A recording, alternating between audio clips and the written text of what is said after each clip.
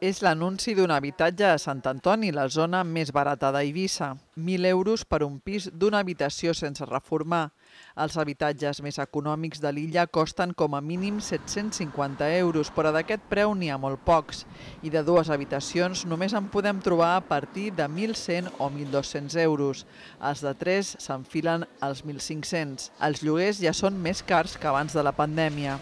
5% o algo así sí que ha subido.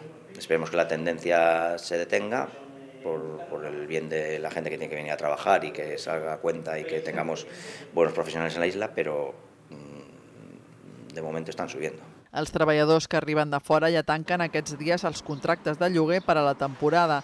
Cada vegada són més les empreses que compren o lloguen pisos per assegurar-se tenir empleats. Si ven inmuebles atractivos a un precio atractivo, aunque haya que reformarlo, etc., pues lo, lo plantean, la compra y, y si no, pues alquilan. Se preocupan por interés, no, no, es un hecho, no es un tema social, es un tema simplemente de que les interesa tener cubierto dónde van a alojar a sus empleados. La zona més cara és la ciutat d'Eivissa i Rodalies i els habitatges de més luxe es concentren al passeig marítim i Camp Misses.